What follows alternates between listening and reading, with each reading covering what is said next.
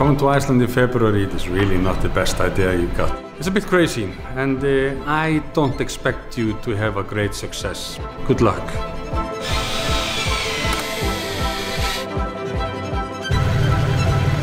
Exploration is the basis of human nature. Iceland is our destination, a passkey to freedom. Nature reigns supreme here. We are out of our comfort zone.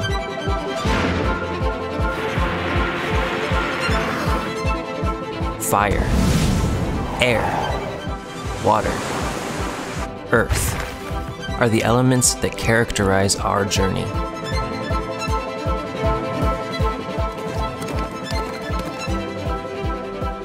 asphalt and snow follow one another on the route, and when there is no grip, crossings become harmonic brushstrokes. Every now and then it happens to fall, but what's the problem? The heart leads us out of the tourist destinations Vik, Black Sand Beach, Diamond Beach, Hotham.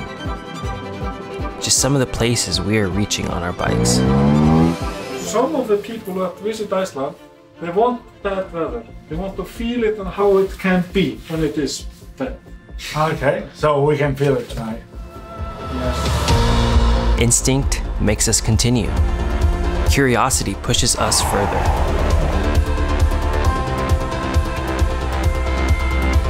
Iceland is our road, and the off-road is part of the adventure.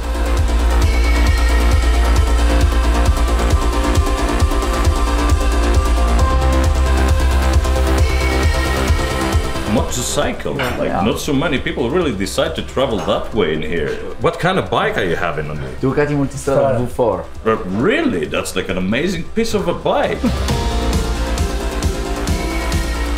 cliffs belong to the birds, the wasteland for the reindeer, and roads are for bikes.